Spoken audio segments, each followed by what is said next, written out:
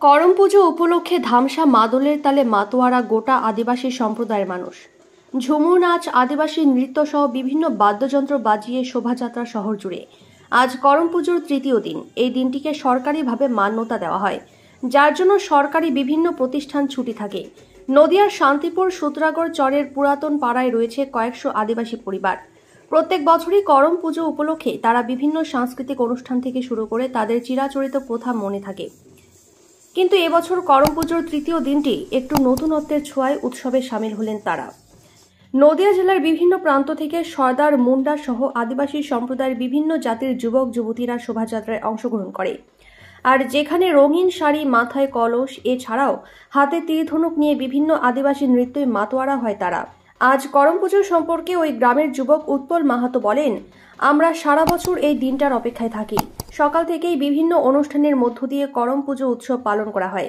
সন্ধেয় করম গাছকে আমরা নিষ্ঠার সাথে পুজো করি, যেখানে প্রচুর সংখ্যক আদিবাসী সম্প্রদায়ের মানুষের সমাগম হয়। করম পুজোর সময় করম গাছের কাহিনী নিয়ে করা হয় গান। এছাড়াও ছৌ নাচ, ঝুমুর নাচ সহ বিভিন্ন সাংস্কৃতিক অনুষ্ঠানের আয়োজন করে তারা।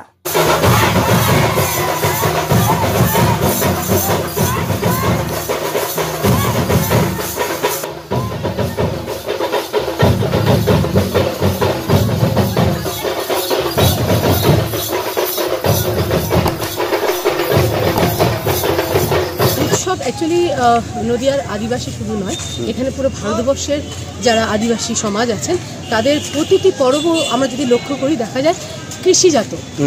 মানে কৃষিভিত্তিক উৎসব এগুলো। আচ্ছা। তো সেখানে যে আজকে করম উৎসব হচ্ছে এটাও কৃষিভিত্তিক। সরকারিভাবে তো আজকের দিনটা ছুটি ঘোষণা রয়েছে। একদম।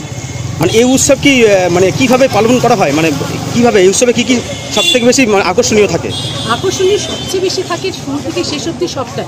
বেশি কম কোনোটাই নয়। যাওয়া পাতা থেকে শুরু করে আজ করম ডাল কাটার পুজোতে অবধি এটা পুরোটাই একটা পরব। এবং প্রতিদিন সকাল থেকে রাত সন্ধ্যা অবধি এই পরবের অংশ। এই পরব কখনোই একটা দিন বা একটা সময়ের মধ্যে আবদ্ধ নয়। এটা সাতটা দিন ধরে সকাল থেকে রাত অবধি এই পরব চলতে থাকে। আর এখানে দেখা যাচ্ছে ঝুমুরিয়া নাচ থেকে শুরু করে বিভিন্ন ধরনের নৃত্য হচ্ছে। হ্যাঁ। এটা কি আদৌ কি শান্তিপুর নাকি বহিরাগত? না না না এরা পুরো গোটা নদিয়া থেকে আমাদের আগত। তোমরা জানো দুদিন ধরে কম্পিটিশনও হয়েছে আমাদের। আচ্ছা। যেটা এই প্রথম প্রথম আমরা নদিয়াতে করেছি। তা সেই নদিয়ার সারা প্রান্ত থেকে এখানে আদিবাসী সম্প্রদায়ের মানুষরা এখানে জন্মগ্রহণ করেছে। আপনার নাম? আমার নাম মনীষী।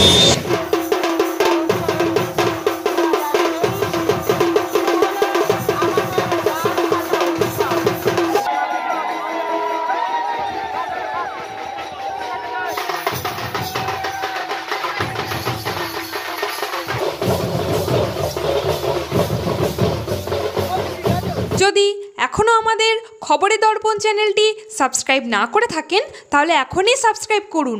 সঙ্গে বেল বাটনটি ক্লিক করুন আর পেয়ে যান সব খবরের দ্রুত ভিডিও আপডেট।